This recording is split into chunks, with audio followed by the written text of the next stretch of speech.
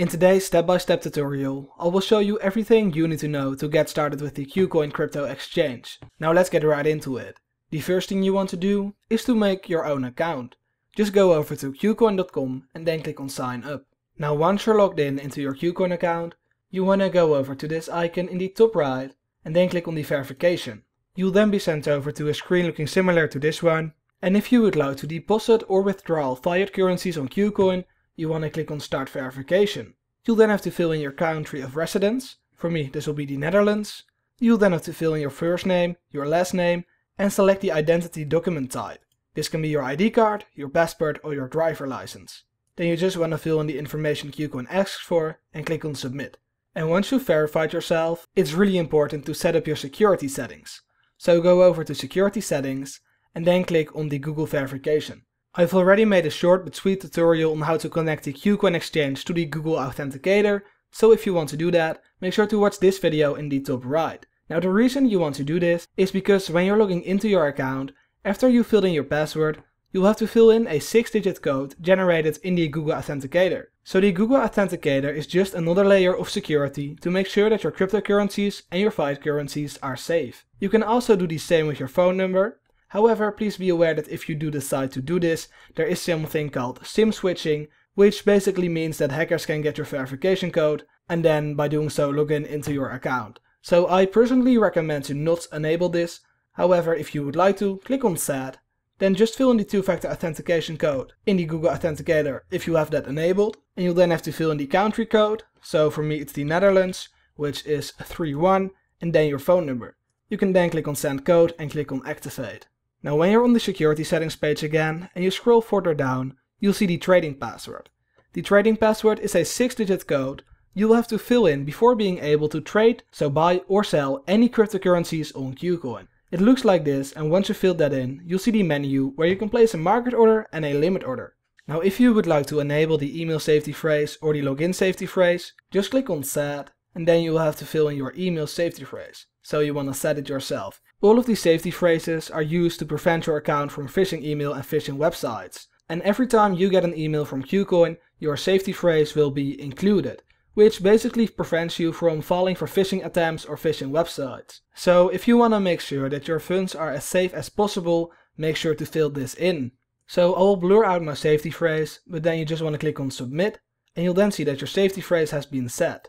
Of course, you can also do it with the login safety phrase or the withdrawal safety phrase, but for me there's no need to. So now that you've set up your security settings, I will show you how to deposit money onto KuCoin. You just want to go over to buy crypto and then click on fast buy. You'll then be sent over to a screen looking similar to this one and on the right you'll see the fast buy menu. Right here you can select the currency you would like to buy, which can be Bitcoin, Ethereum or Tether, which is USDT. You can then select the pay with. This can be any fiat currency, but for me it will be the euro because I live in Europe. You'll then have to fill in the amount, and you can then simply click on buy USDT. You can also see that the FastBuy supports Visa card and MasterCard, so your credit or debit card. If you don't have either of these, you might want to use the third party. You then once again have to fill in the amount you would like to spend, and in which currency, so for me that's the euro, and you then also have to select the I want to buy. And if you're using the third party, there's a lot of cryptocurrencies available, but I'll just select Bitcoin. Now you will have to select the payment method, so either the Visa or MasterCard, SEPA, which is bank transfers, Apple Pay or iDeal. And the last thing you need to do is to select your payment channel. This can be BTC Direct or Banxa. Now when you scroll down further, you'll see all the information of your buy. And you'll then also have the disclaimer, and you need to check this box, and then you can click on confirm and continue to buy your cryptocurrency with fiat. Now I haven't verified myself on KuCoin and that's why I always use the deposit crypto option. If you want to deposit crypto onto your KuCoin account, you need to go over to assets and click on main account. You'll then have to click on withdrawal or deposit and in this case it's deposit and you'll then be sent over to this screen. You'll then see please select the coin. So just click on the search bar and search for the cryptocurrency you would like to transfer onto KuCoin. The currency I would like to deposit onto KuCoin is Reserve Rights so make sure to select the currency and then you also want to select the account you would like to deposit into. The names are quite self-explanatory, however your main account is the account you can deposit and withdraw from, your trading account is the account you use to buy and sell cryptocurrencies on KuCoin, and your margin account is the account you can use to future trade, so to long or short cryptocurrencies. I would like to deposit my funds into my trading account, and then you want to go over to the exchange you would like to withdraw from. If you're on the other exchange, you want to search for any withdrawal button. On Binance, it's located under the Fiat and Spot section, and then you just want to click on withdrawal. You'll then have to select the coin, and please always make sure to select the same coin on the other exchange as you've got selected on KuCoin, because if you transfer, let's say Bitcoin, to an Ethereum address, you will lose all the funds you're transferring. So always double check if you actually have the same coin selected. Now in this case, I do, so you can then continue and copy your wallet address. Then you wanna go over to the other exchange and paste it in. You'll then have to select the network, which in this case only Ethereum is available, and you can also see that the wallet address has automatically been matched to the corresponding network. However, if you're not sure which network to use, please go over to Google and search for which chain supports transferring and then the name of the currency you would like to transfer. Now you can just go ahead and fill in the amount you would like to transfer and of course you can also click on max. You can then go ahead and click on withdrawal and you'll then see the withdrawal confirmation. So you want to double check if all of the information is correct and once you've done that you can click on continue. You'll then have to click on get code and fill in the two-factor authentication codes and if you would like to withdraw cryptocurrencies from KuCoin you want to go over to withdrawal or if you're not on this screen yet you want to go over to assets and then click on main account. You can then go over to withdrawal and then you want to search for the cryptocurrency you would like to withdraw. Now please be aware that not all cryptocurrencies that are available on KuCoin are available on let's say Binance or any other crypto exchange and for example XH3 and Tower both are not available on Binance. So for this example I'll select my USDT or Tether holdings. Then you can just click on continue and you'll then see that you need to fill in the wallet address. So to find this wallet address, you want to go over to the other exchange and look for a deposit button. On Binance, it's located under the Fiat and Spot section, and then you want to click on deposit. You can then go over to select coin and search for the currency you would like to deposit. Please always make sure that you have the same coin selected, because if you transfer your cryptocurrency to the address of another coin, you will lose all the funds you're sending. So that's why you always want to double check that. You'll then have to select the network you would like to use, and you can see that on Binance there's 5 networks available. Now on KuCoin, when you click on network, you will also see that there's 5 networks available. So you basically want to look for the network that is available on both KuCoin and Binance. Now as you guys can see, the Tron or TRC20 is available on both Binance and on KuCoin. So I'll select TRC20 on both of the exchanges. You can then copy your wallet address and go over to KuCoin and paste in your wallet address right here. You can then go ahead and fill in the amount. Now, like I said before, if you want to withdraw funds from your KuCoin account, you will have to have those funds in your main account.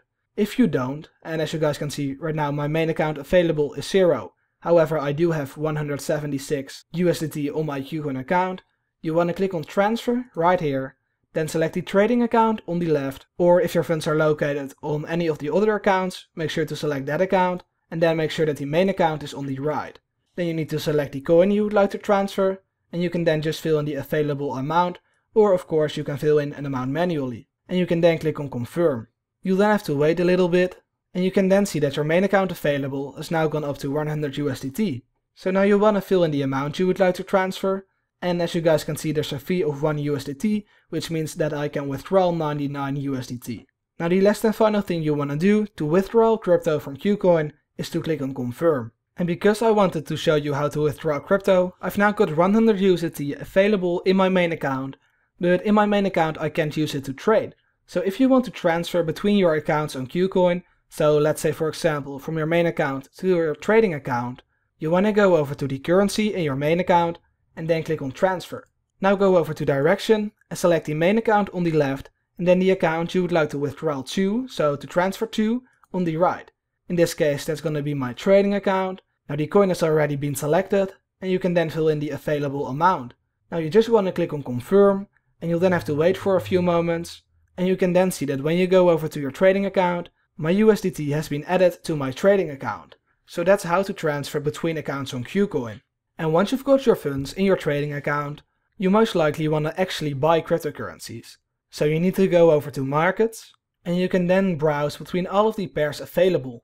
The pairs are right here and you're also able to filter the cryptocurrency pairs right here. For example, you've got the stablecoin pairs, the Bitcoin pairs, and the altcoin pairs.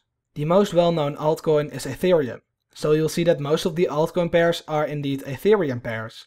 And I myself always like to buy cryptocurrencies using USDT, because it's the easiest way to see your profits. So just go over to stablecoin, and you can then go over to the search bar and search for any cryptocurrency you would like to buy. For me, I would like to buy Tower slash USDT, so you can then click on the pair, and you'll then be sent over to the trade cryptocurrency website of KuCoin. Now like I told you before, you've got the trading password on KuCoin. So you need to fill in your trading password, and you'll then see the menu where you can buy and sell cryptocurrencies using a limit order, a market order, and a stop limit order. Now using a market order, you'll buy cryptocurrencies instantly, so for the best available current market price. So if I was to fill in 50 USDT right here, I would buy Bitcoin in this case, which is not right, so I'll go over to the tower pair myself. I've got redirected to the wrong side. I want to select tower slash USDT, and when you then go over to market, you can see that you can buy and sell tower. So if I fill 50 USDT in right here, I will buy 50 USDT worth of tower for the best current available market price. Now the limit order works as followed. You've got the price, so the price you would like to buy for, and the amount. The amount is the amount of tower you would like to buy, and the price is the price below the current market price if you're trying to buy. Now if you set your limit price above the current market price, you'll buy instantly because you are willing to pay more than the current market price. So let's say that I would like to buy tower when the price goes down to 0.04. I'll just fill in 0.04 as the USDT price, and you can then enter the amount of tower you would like to buy. For example, 1000 tower is equal to 40 USDT, and if you would like to place your order, just click on buy tower.